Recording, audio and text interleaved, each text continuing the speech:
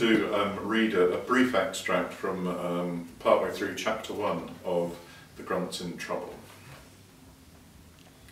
I've got a cat to collect, said Mrs. Grunt.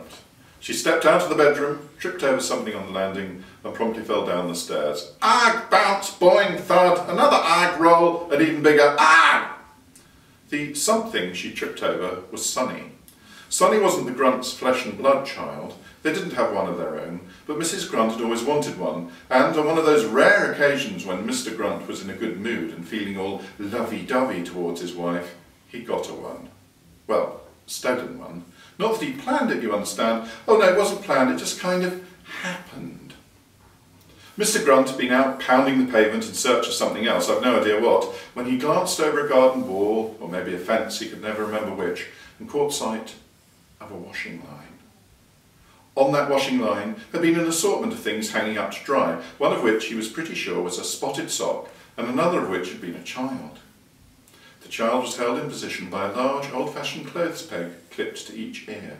And before you could say, put that child back, it's not yours, and anyway, it's not dry yet, Mr. Grunt had leaned over the wall, or fence, and whipped that child off the line. Mrs. Grunt had been very pleased.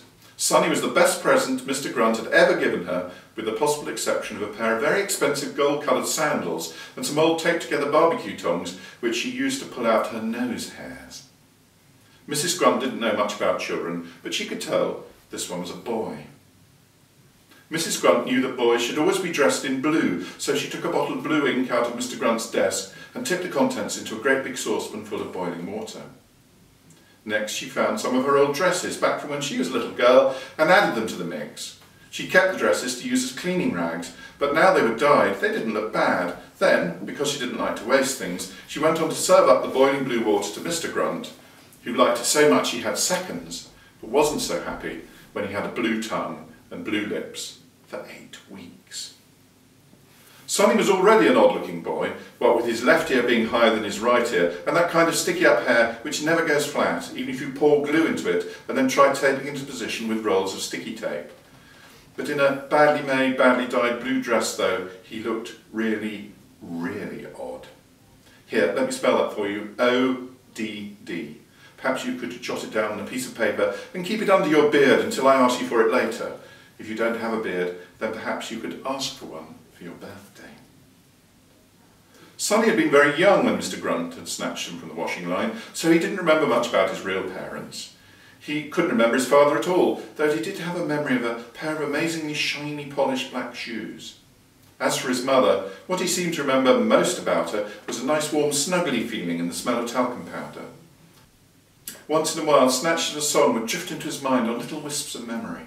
The song was something to do with fluffy little lambs shaking their lovely little lambs' tails, and in his mind it was his mother singing it. She had the voice of an angel who had singing lessons from a really good teacher. The Grunts were very fond of Sonny in their own way, but their own way was a strange way. But let me give you some examples, and if you don't like my examples, you can always give them back. For example, Mr. and Mrs. Grunt knew that boys don't like washing, so they never made Sonny wash. They knew that boys don't like tidying their bedrooms, so they didn't give him a bedroom. They made him sleep on the landing outside their room. The truth be told, there wasn't room for a second bedroom in the Grunts' house because they didn't live in an ordinary house, they lived in a caravan. Not a lovely, pretty, brightly painted wooden caravan. No, not one of those. Put such thoughts out of your mind. Nor a sleek, modern, metal caravan. No, not one of those either. They lived in a caravan Mr Grunt and his dad, old Mr Grunt, had built together out of stuff. Stuff that included an old garden shed, the sidecar of a motorbike and sidecar, the less interesting half of an ice cream van and some bobs from a collection of bits and bobs, including an old dog kennel, some wooden planks and a frothy coffee making machine. The end result usually made most sensible people run away if they saw it being towed round the corner by the Grunts' two donkeys, Clip and Clop. Ah, Clip and Clop. I was wondering when I get a chance to tell you about them, and now here we are.